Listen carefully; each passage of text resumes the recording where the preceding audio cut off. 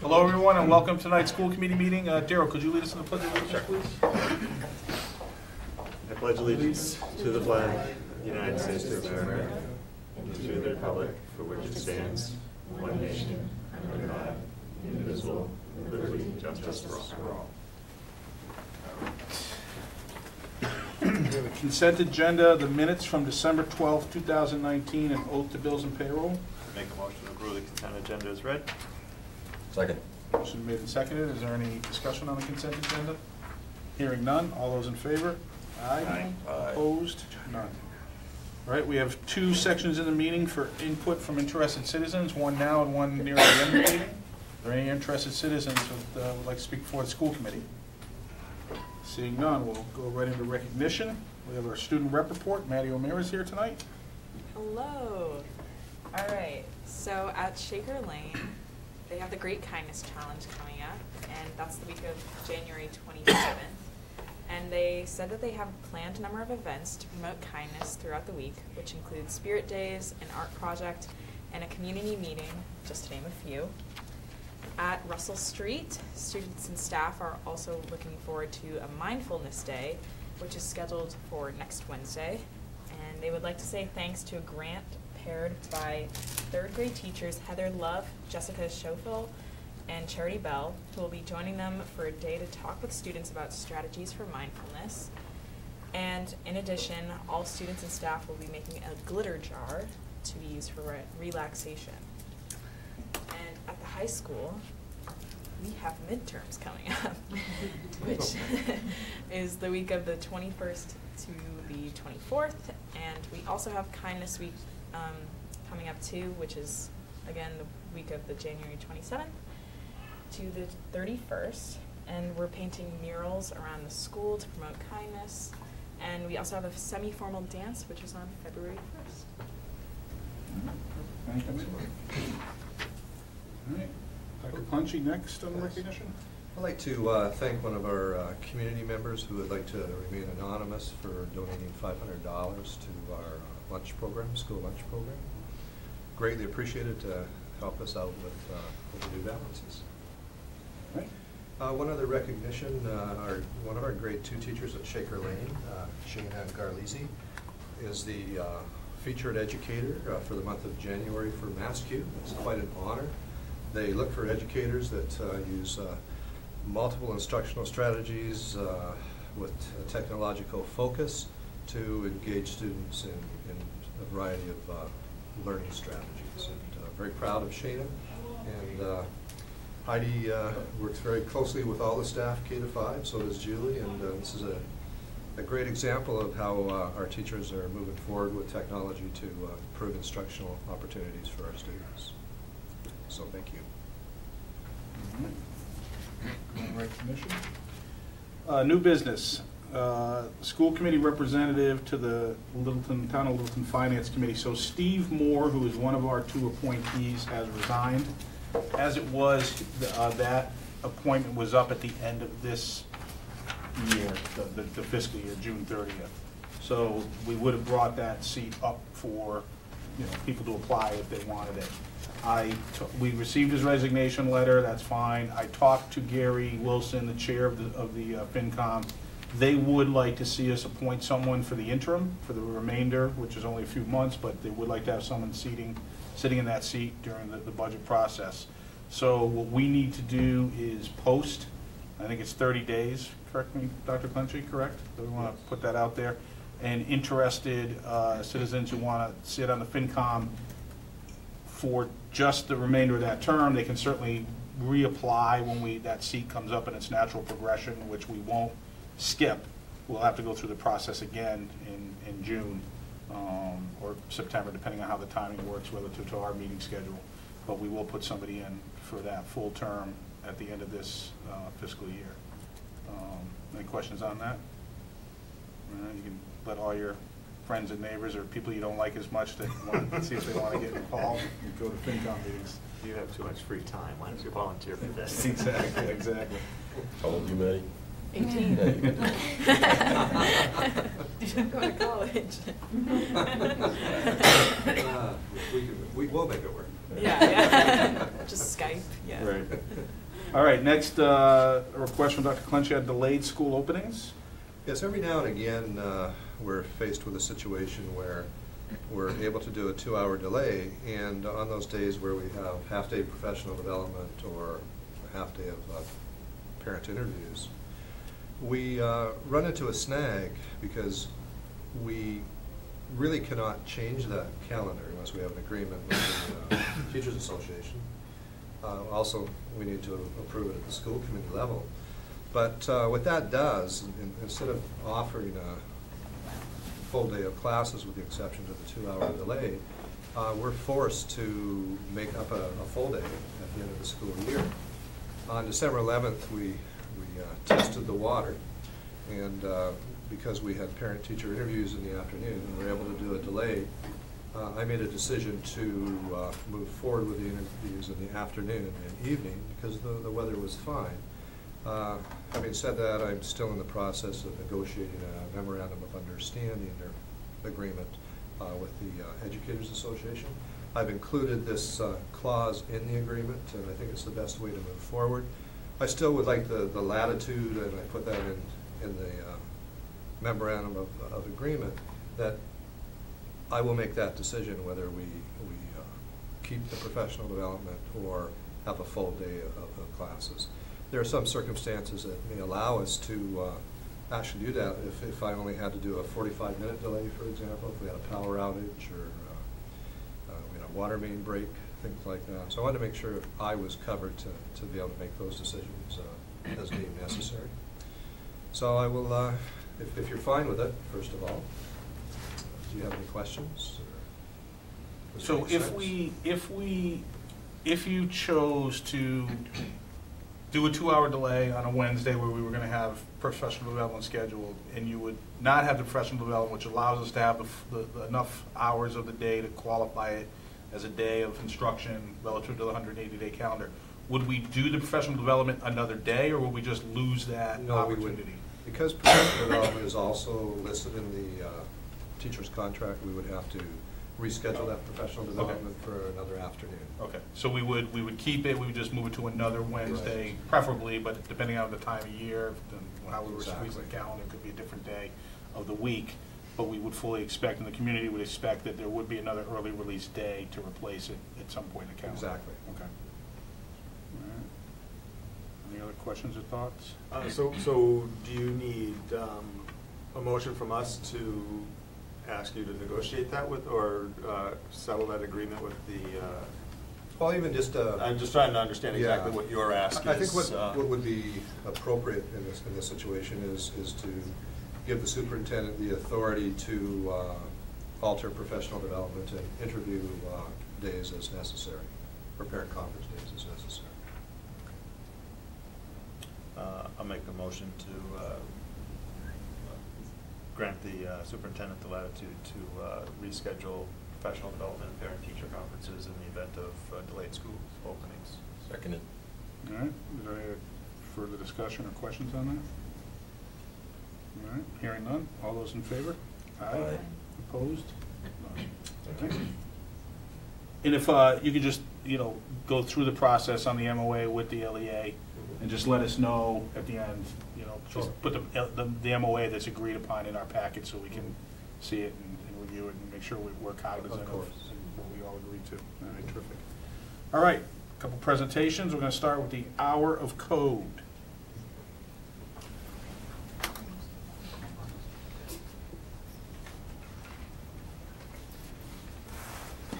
Welcome. Hi, thank you. Hello. Uh, So I'm Heidi McGregor. I'm the K to 5 STEM specialist at Shaker Lane and at Russell Street School. And, and the Hour of Code is something that Littleton has committed to. Um, Julie started it um, uh, with, with us um, recognizing it. So this is our sixth year doing the That's Hour of Code how many years it's been. six years. Um, and, you know, the first couple of years, you know, not every um, student got it. You know, it, it took a little time to get some momentum, and now every student is doing it. And it's it's pretty it's a pretty amazing process. So um, I feel like I had to really step up my game this year because a lot of the students, especially the third, fourth, and fifth graders, have been there, done that. They've seen all of this great coding stuff that's out there. So I'll give you a little look at at what um, what we did this year. Um, so there's a little video. Oh, there we go. There's a video that I was, um, one, this is one of the videos that I um, shared with some of the students, just to get them uh, understanding how important it is for them to um, understand how technology works and how it's going to affect their future and how they are actually going to change the world by having this knowledge and these, this skill base. Um, That's okay. And this is a video, it's one of many videos that the organization code.org puts out there uh, for educators to use with kids. World has some big problems, but I'm good what can I do? Even when problems seem big, we can tackle them one step at a time. Our generation can help make a more prosperous, equitable, and sustainable world. I'm learning to code. I'm designing apps that solve local problems. I'm programming robots. I'm learning computer science to make change happen. Because with technology, we can build robots to clean lawns oceans. We can program drones to detect forest fires quickly. We can empower young women with digital skills and tools.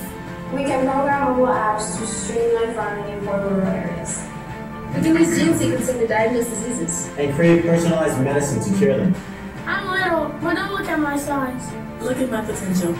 I can make change happen. I can make change happen. I can make change happen. I can make change happen.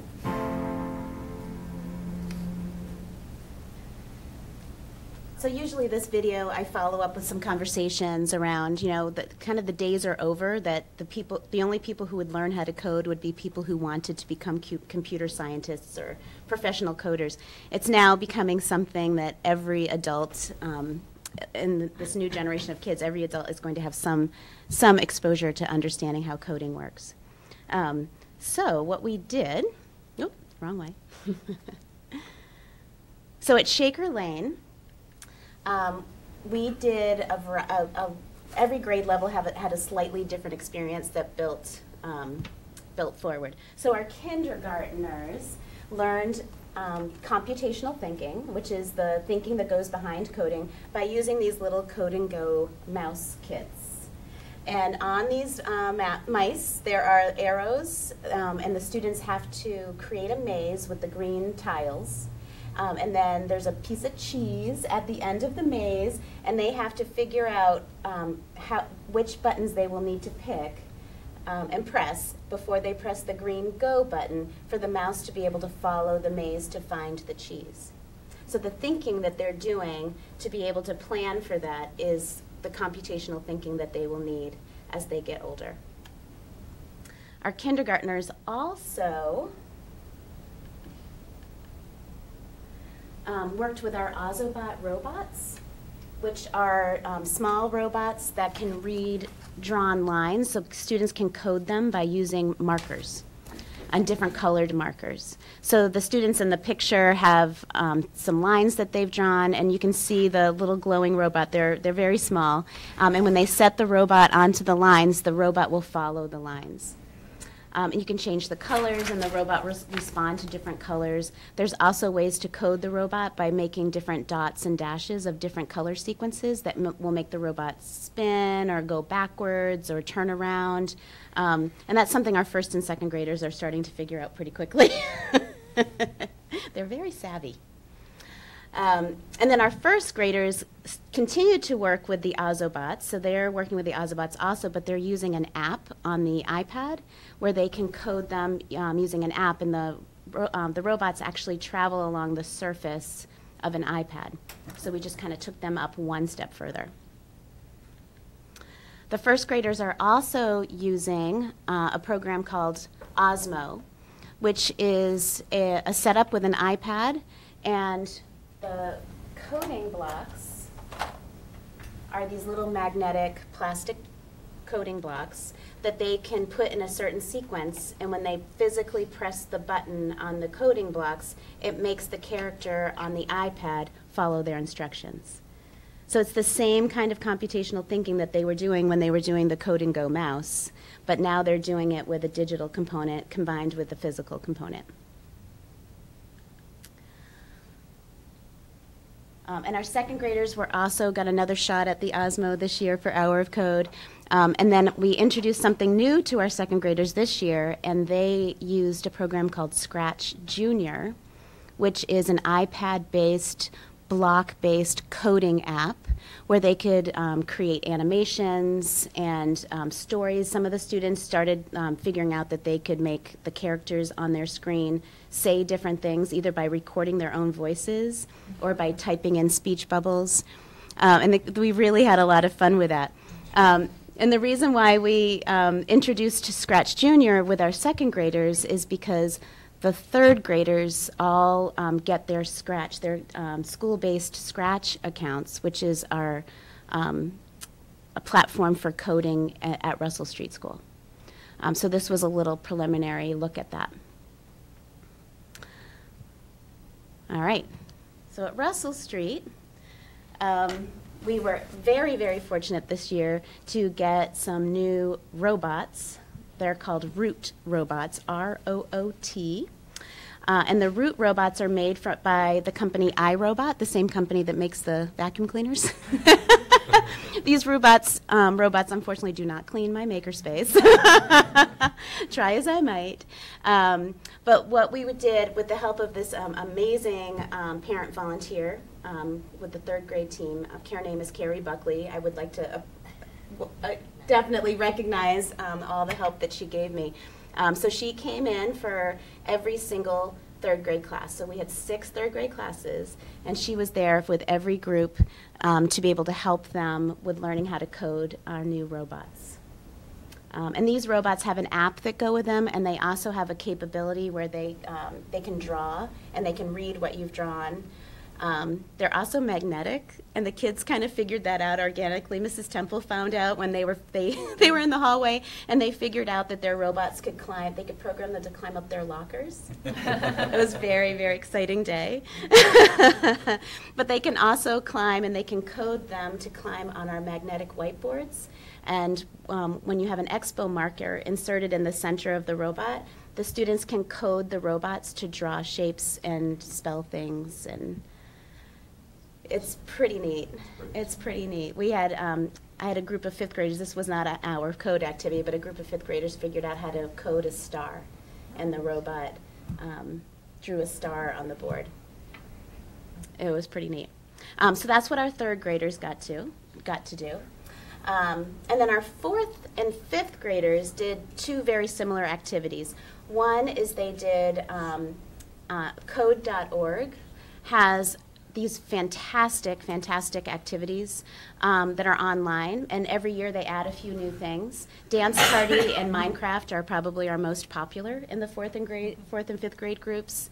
Um, but um, Code.org just released this year um, an artificial intelligence activity where the students can train their AI their artificial intelligent robot on the, on the um, Chromebook, they can train it to recognize the difference between a fish and a piece of trash. And then they go into the next level and they can um, see if their robot can sort um, trash out of an ocean using artificial intelligence. Um, so next year, uh, who knows what they'll come up with next, but I think we'll be continuing to push that envelope. Um, and just a thought about Dance Party, I almost forgot to mention it. Um, so, Dance Party is a really very engaging um, coding activity for the students where they pick a song, a popular song, and then they can pick these different characters. They can choose what characters they want, and they can teach their characters different dance moves like dabbing and flossing. I can dab, but I can't floss. Um, but anyway, so, um, so the kids really, really enjoy that. Um, and I was talking with our new unified arts um, teacher who's um, at Shaker Lane, and in her physical education classes during the week of Hour of Code, she did an unplugged dance party.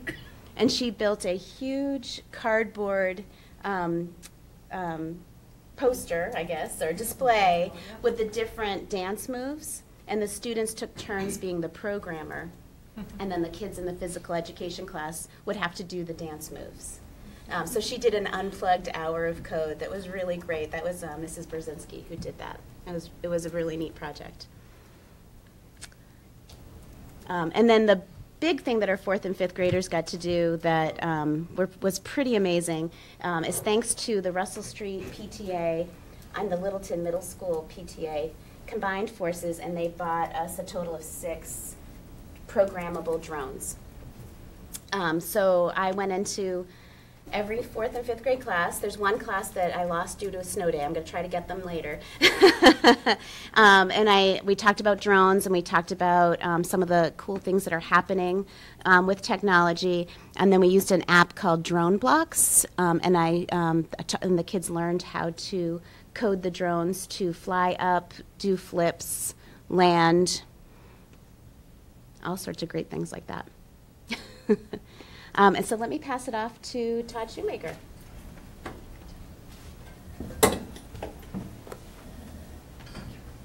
Next slide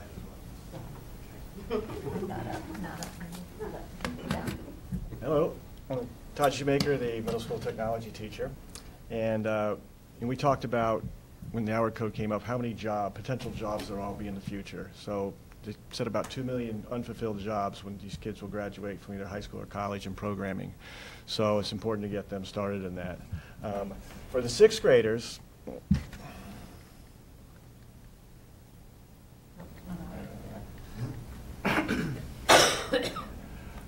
For the sixth graders, I had them go to the Hour of Code website, and we started off with challenging lessons using loops and Blockly. Uh, the student here on the left was, uh, was trying to create uh, the puzzle, and she wasn't using loops, so she had the, the character go straight, turn 60 degrees, go straight, turn 60 degrees, when she could have used a loop. So let her work with that a little bit, and, and I said, well, let's try something new here. Let's throw a loop in there. And, you know, the, the light bulb goes off. Wow, this is pretty neat with computational thinking and whatnot. So the students used, drag, uh, used uh, drop blocks uh, to code a given task. For some of the students, this lesson was pretty challenging. Uh, for other students, the loop lesson uh, they were able to handle it, and they worked and, and moved on to other topics like uh, if statements of variables. So they were able to choose through the hour of code what level they needed to. And I, I noticed that some of the kids did the dance party. I'm like, okay, you, this is pretty easy. But they love to use that program because you know, it's loud and noisy. And so let's move on to something a little more difficult. Let's push ourselves here. Uh, so the next few weeks, uh, in the next few weeks, the sixth graders will continue working with their uh, computer skills in a Scratch program, and we're going to do a lesson shared with the geography teacher, Mrs. Pinard. Uh, the students are going to use the Scratch program to uh, program a story explaining information about the Asian countries they're learning about right now.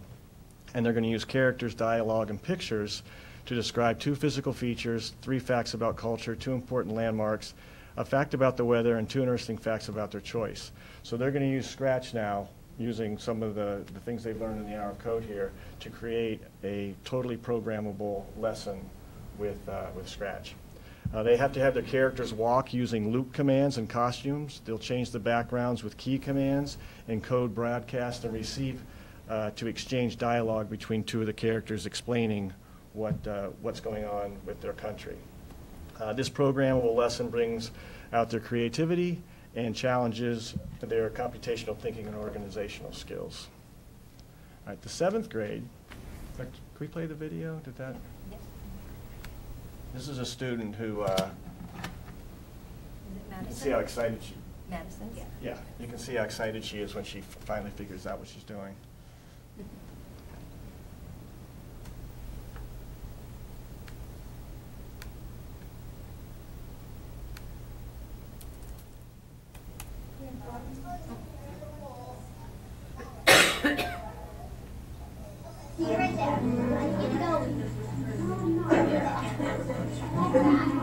You're missing one element. So I drew the line. How many more lines do you have to draw? How many? Five more. So, and they're all the same line. It's all, we want this program to do the same thing five times. How do we do that? Right. All right, now. Okay, so. How many times are you gonna have it? There you go. Five or six? No, I think it's I think it's more. No, it's That's a teenage girl. Especially it's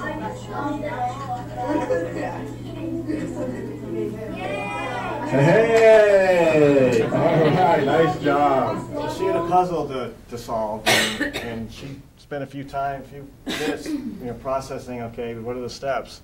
And then we started to figure out the loops and nested loops where the program could build pieces of it and then do the final thing six times. So um, some of the, the concept was pretty difficult for some of the kids, but like I said, once they, they got that, they were able to move on.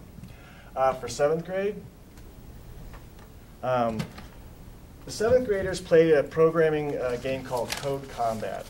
Uh, in this game, the students use the programming language Python to complete various missions. Uh, they are required to make their characters move through difficult mazes, attack multiple villains, and gather treasures and gear. The seventh graders moved on from block, drag, and drop program to typing the code in themselves and testing the program to see if it worked.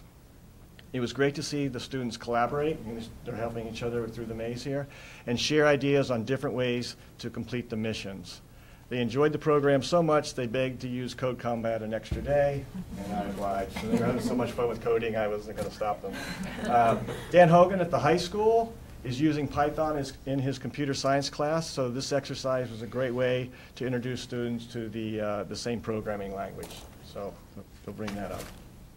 All right, for our eighth graders, okay, they, uh, the eighth graders use Khan Academy. Uh, they have an account that they use with their math uh, lessons, and were introduced to JavaScript by completing the first lesson called Drawing Basics and Coding.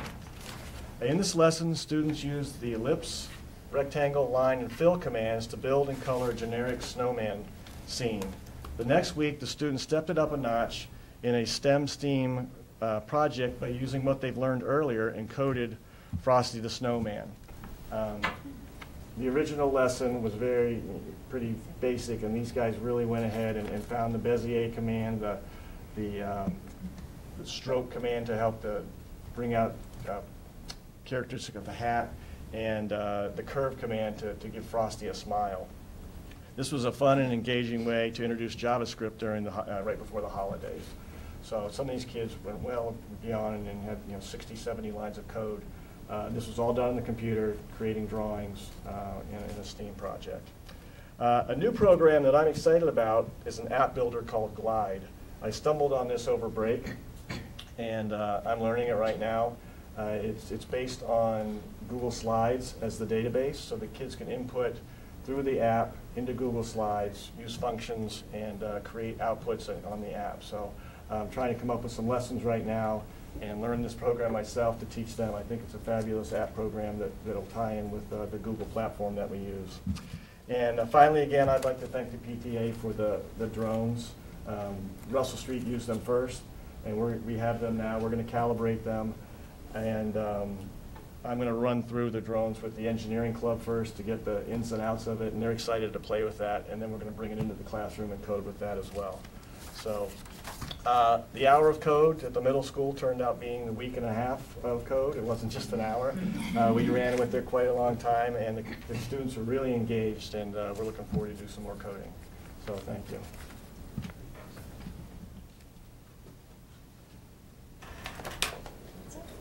Thank you. All right. Any questions? No, this is great. Okay, Do you feel like you're going back in time, Daryl? Looking back, like trying to figure out how to do stuff, I was like, it was deja vu for me. All right, thank you, I appreciate it. Six years is a long time, it's, uh, but it sounds like year by year, we've been getting more uh, aggressive about Yeah. stuff. And I appreciate the understanding the differentiation as they get older, we've got to, like you said, up our game. And, uh, and it's great to think that, yeah, some of the stuff that they're getting now will translate directly into some of the coursework they're going to do at the high school. So that's been great, thank you. Thank Great, great job. All right. Next, we are going to talk about the draft calendar for the 2020-2021 school year. What school year? What is that? So, did you want to uh, talk about calendar, Beth, or? Sure. You can, I can start. You can see from uh, uh, September, we uh, have a proposed uh, staff day back September 1st, students back on the 2nd uh, and 3rd, and then a a Friday off, and uh, Monday, of course, is Labor Day. And then we start uh, back in that week. Pretty, everything else is pretty standard. Uh, If we go to, I'm sorry, Beth, I should probably, after I send something to you, I'll just do one more, and I'm gonna hand it, we'll split it in half, how's that? Perfect. If you look at uh, the December c- calendar, you'll notice that our last day is the twenty-third of December, proposed. And uh, we come back Monday, January fourth. I'll turn it over to you now, Beth. Okay, so I think you hit the main points. Um, is that no, no, no, perfect. Talk to you. About. Um, so we will come back before um, Labor Day because Labor Day is falling a little bit later, and so we will start September first with students coming back the second, but letting um, everyone have that long weekend with the Friday off. Um, throughout, you see 12, um, 14 half days that are in red. 12 of them are prof- half days with professional development in the afternoon for our staff. Otherwise, the vacations um, are pretty standard as in past years, as well as the conferences and um, back to school and curriculum evenings. The reason why we've asked for a uh, first reading this evening is- is twofold. First of all, I wanted to give you an opportunity to think about the calendar and bring it back uh, second meeting in January. Uh, This is the earliest that we've ever brought a calendar forward to. That was one of our goals that uh, we set last summer. And uh, secondly, uh, the Shaker Lane uh, administration and Russell Street administration want to review the first round of interviews, or sorry, parent-teacher conferences. Using my love interviews, that's a Canadian term. Uh, Right now, they're in December, and, you know, that's quite a, in our opinion, that's quite a long time before getting the parents in and having conversations about uh, how their children are doing. So they're going to be, hopefully bring back a proposal uh, for us when we bring the calendar back at the next meeting to uh, have those uh, parent conferences, I believe sometime in November. Is that correct? Yep, there's another discussion with that. All right, so you want to wait till then for an If- actual if we could, that would be great. Um, any questions or thoughts initially what we see here? Um, I have one question that was brought to me by somebody in town. Um, and I actually had no answer. Why do we have half days on Wednesdays? Well, you know, that's, we've, we've tried different days of the week. Mhm. And, and that day just seems to uh, fit in well with, Yeah. with how we've, we've scheduled. We, we have tried a few Friday afternoons every now and again, but, uh, you know, we, we prefer Wednesdays, midweek. Uh, We still have Sure. good two days of learning and, and uh, attendance uh, is good Yeah. during midweek, so. So Yeah. for us, we, we, we just, we're trying to optimize a number of factors, and, and obviously one is attendance. We want to make sure that uh, attendance stays up. And uh, secondly, uh, we, you know, we have two days before, and then we have two days after to continue the learning process. That's I our rationale. My thought would be human nature would indicate to me that if you did it on a Friday, some families are gonna skate the whole Yeah. day Yep. to take advantage of it and do something, which is, isn't necessarily inherently, you know. Yeah. But Dr. Clenchy's right. Our purpose is to keep them, you know, in school five days a week of the weeks that we have five days of school, so I think that's the, that's the right way to go. I think the big takeaway uh, for the community otherwise is that this is a pre-Labor Day start. We don't typically do that, but it is uh, almost as late as it can be uh, on the 7th. So I think that, we've done it before in the past. I think it was recently, what, three years ago? Two fif- Fifteen, sixteen was Yeah, last so time, and then the year 16, before as okay. well. Yeah. So, uh, And it's, uh, uh, we really like the, the uh, layout of, of this calendar in terms of that first week where we have, uh, uh, we start school and then we have a four-day weekend prior to getting back, so. All right. All right, so we'll look forward to you bringing it back with the final version, the uh, parent-teacher conferences worked in there. Great, thank you. And then following is the proposed school committee calendar for next year as well. Yeah, next up. potential dates for uh, retreat, we usually only use one day, but just in case we would like another day, we schedule it. So August 20, 20th, 21st. And uh, first uh, committee meeting in September is the 17th, two in October, actually three in October.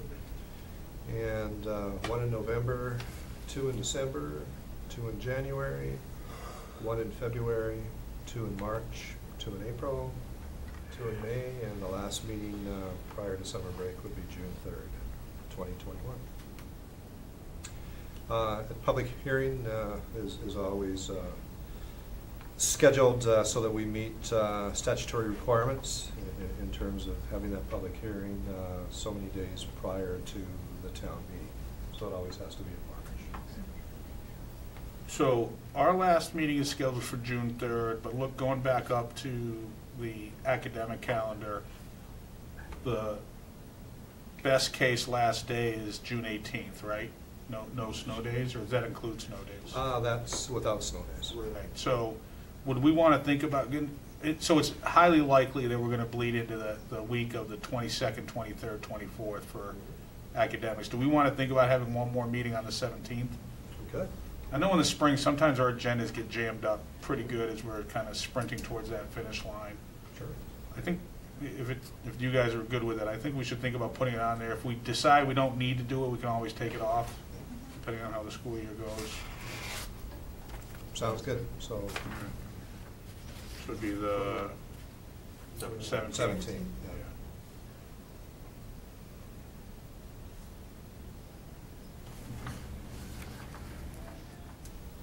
And if you're fine with that, you can uh, certainly uh, entertain a motion uh, with the addition of uh, the meeting on June seventeenth, twenty twenty-one. Make a motion to approve the uh, proposed school committee meeting calendar for July, for 2021. School year 20 and 21, with the addition of the June 17th meeting. Second. All right, motion made and seconded. Any further discussion on that? Hearing none. All those in favor? Aye. Opposed? None. All right, we're cruising right along. We're already at the second uh, option, uh, section of the meeting for input from interested citizens. Any interested citizens? Nope. Going to subcommittee reports, PMBC. Uh, Just one, one item, just before you go to, to that. I Oh, saw a note from the uh, town clerk that we need to notify the Board of Selectmen.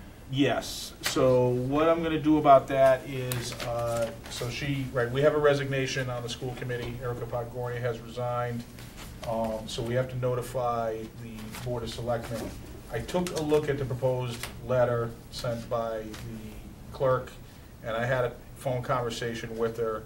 What I would like to do before we send that particular letter is to email uh, the town administrator and the chair of the Board of Selectmen and get on their agenda to talk about how we, because it's a joint, if we do appoint someone to fill out the, the, the rest of this year, then we would have a special election as part of the regular election uh, in uh, May. And so the question is, do we want to fill the seat between now and that special election?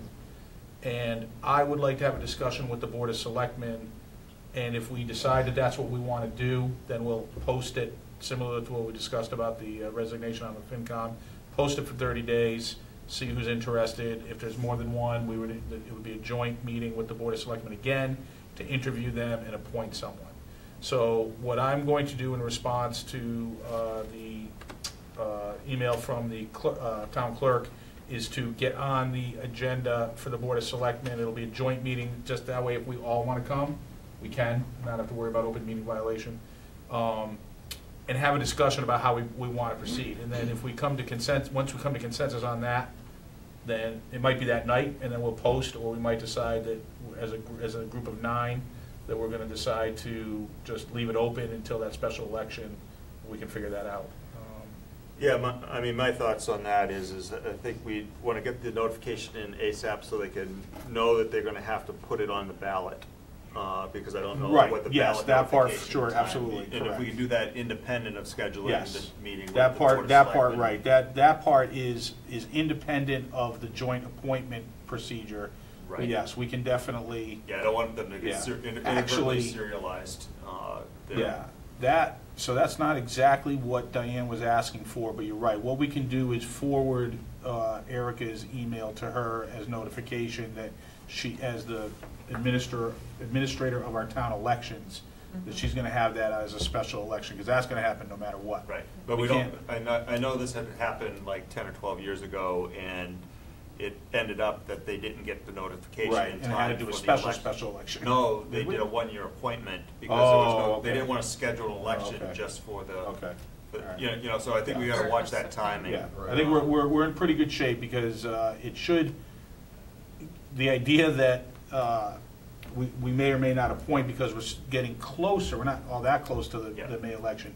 But you're right, the notification now should allow Diane plenty of time to get it So, in so there with maybe the if rest you of her clarify the plan. language in the Yeah. letter back to her, Yeah. that, you know. Right, to go that ahead. You're gonna separate the I'll two do that. activities Yeah, I'll do that. there. And that, that's gonna go out, that email will go out tomorrow. And then, you know, um, you know, my thoughts just in general is, you know, by the time we post it for thirty days, schedule a joint meeting, we're already at the election, pretty close. uh, Pretty close to it. Uh, to it, uh, Yeah, I, I don't disagree with you. I, I do feel that because it is a joint appointment, that that discussion should be among the nine of us, the four remaining school committee members and the five board of selectmen meetings. And I think the easiest thing to do is get on their agenda, although conceivably, depending on what their meeting schedules and what their agendas look like, we could certainly do it here, although it would be another night out for them versus another night out for us at their meeting. Um, So, yeah, I, uh, we will work that, um, now, uh, and that'll get taken care of, so that's fine. All right. Now, PMBC. Uh, let's see, I don't, I don't think we've met since the last time we met at, on school committee, uh, there. Um, but I do wanna mention one thing, I saw the notification that the, um, school, uh, improvement, uh, commit board is open for, uh, proposals for, um, school, uh, projects. Statement of Statement of interest. interest, uh, there. I know we're thinking about the Shaker Lane project, but I would encourage us to be thinking about uh, submitting a roof replacement for the high school also. Since we're probably, you know, there is funding available through that, that means for the roof replacement, and I suspect that that's on the order of a big ticket item. You know, numbers about a million dollars or so have been thrown around for a roof replacement uh, there, so we probably don't want to miss the opportunity if we could get some funding. Or, right, or, the or, roof right, or have to wait longer to replace the roof, Well, replace the roof than we might choose to. well, you, you, you might not have a choice of You might not, but you might, you know, you might. Yeah, and, and uh, of which we would foot the whole bill Right. uh, at that point. Uh, That's a good point. uh, I, I know it might not be typical to do two requests at the same time, but I think we, we want to be thinking about that. Sure. uh, There, so if we could just take that into account. Is it? Yeah. Uh, Budget Subcommittee, um, again, we're just kind of waiting for the uh, meeting with the Board of Selectmen where they review all the budget requests by the various town departments. That's going to be later this year. We- Typically, we would have already had it, um, but they're rejiggering that calendar a little bit. The one thing that uh, has, I have seen go by via email is, there was discussion about uh, moving some of the things that we had put into capital back to the operating budget, both on the school department side, and there are also some items on the town side that the new town uh, accountant had indicated she thought would be better placed. And we just got agreement from them that if we move those things over there, that the money that we have been allocating out of the capital budget over the last several years for those items would go seamlessly into the operating budget, so there wasn't an, an increase, or that we would have to find that money in the, the current operating budget, that the operating budget would go up to continue to support that, they agree with that, so we should be uh, semantically in, in line uh, with our expectation, our expectations are in line with what they're gonna execute on, so we're in good shape there. Um, Other than that, we don't have anything else to report at this time. All right, policy subcommittee? Um, Let's see, I, I had a, just a discussion with Kelly to sort of map out a path for the next couple of months uh, with uh, making a thrust, uh, focus on uh, policy updates. Uh, I think uh, we should have ready for next meeting, first reading of reviewed uh, policies, probably about twenty to thirty of them. Uh, And then we're gonna start tackling all of the instruction ones, did we agree on? Yes. Uh, There to make sure that we, can- that will be the next batch uh, that we'll target for probably two, one or two meetings after the February uh, batch that's coming in. And I think we're also bringing for second reading tonight, uh, the updated uh, animals in uh, schools policy. Looking forward to the candy in the future. All right, we- so we're gonna review that one right now? Yes. Uh, yeah. I think that is included in the tax. Yes, it is. Mhm. Got it, yep.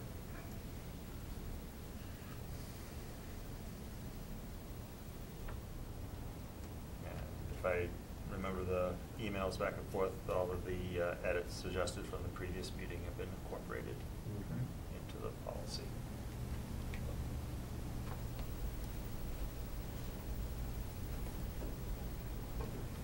Is there any comments or questions on this before we submit it for a motion? Hopefully not, because this is the second reading, and we did have some, some good debate on it the last time. All right. If we're all happy with it, I will entertain a motion. I'll make a motion to accept for second reading, uh, policy IMG animals in schools. Second? Motion made in second. Any further discussion? Hearing none. All those in favor? Aye. Aye. Opposed? None. All right. Thanks for that, Daryl.